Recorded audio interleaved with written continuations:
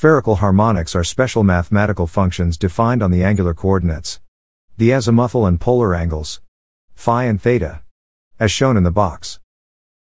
Why are spherical harmonics important in quantum mechanics? As we will see, the spherical harmonics make up part of the electron's wave functions in a hydrogen atom.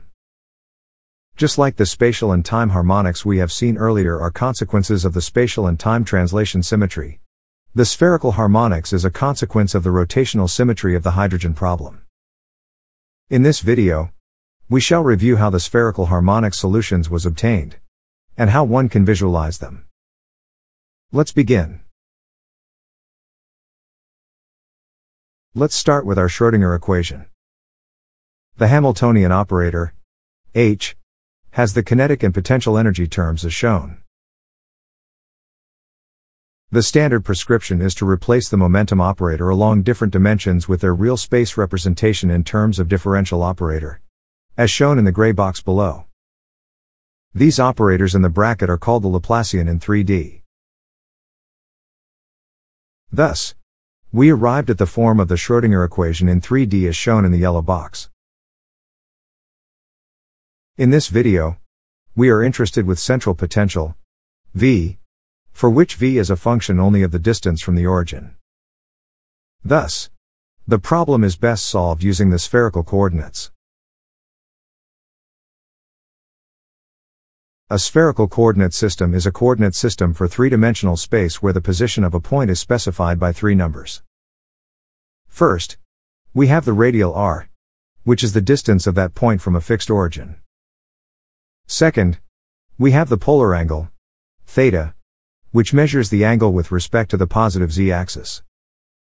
Third, we have the azimuthal angle, phi, which measures the angle of its orthogonal projection onto the xy plane with the x-axis. The spherical coordinates are related to the Cartesian coordinates via the relations as shown. We can also define their respective spherical unit vectors as shown, represented with a symbol hat. The unit vector or hat is normal to the surface of the sphere, and the unit vectors theta and phi hat are tangent to the surface of the sphere. Theta hat points in the longitude direction, while phi points in the latitude direction. These spherical unit vectors are related to their Cartesian unit vectors via the rotation matrix, R, as shown. Lastly, we would also need the volume element in spherical coordinates in our discussion. The vector differential operator, del, in this spherical coordinate system leads to the following expressions for the gradient, divergence, curl and Laplacian as shown. Since the Schrödinger equation contains the Laplacian, we would need this for our discussion. Okay. Back to the Schrödinger equation.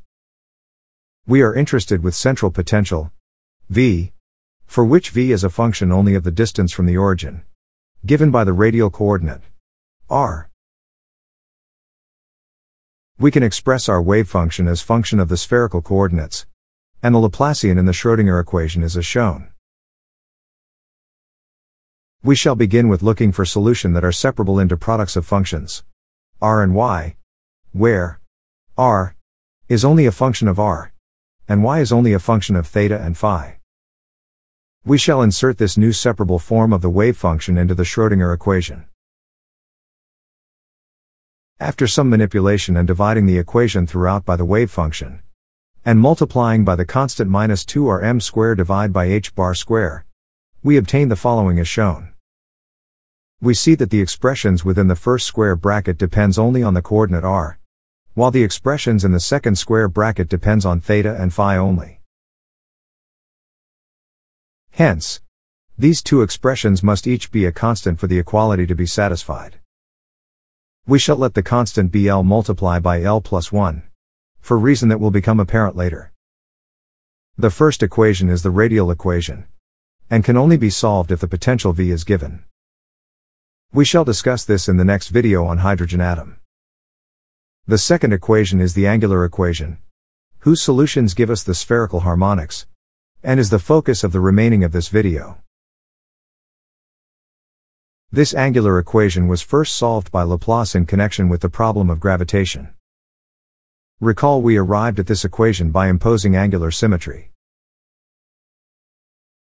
Just like when time and spatial translation symmetry in the Schrödinger equation results in a spatial and time harmonics in the solution. We have an analogous spherical harmonics due to the angular symmetry of the problem. The form of this spherical harmonics, however, is more than just a simple complex exponential which we shall see now.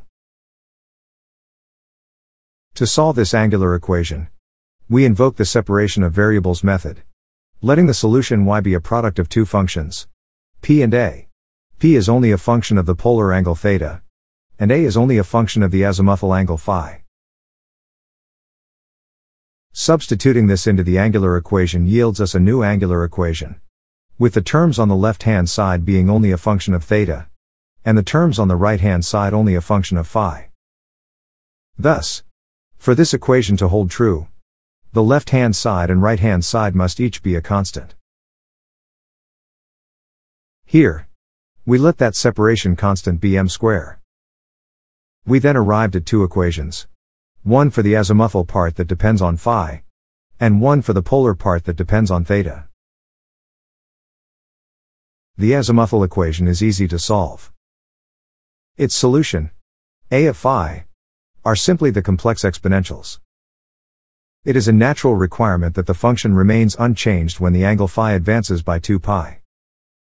Thus, this implies that m has to be an integer, which can either be positive or negative as shown, including 0.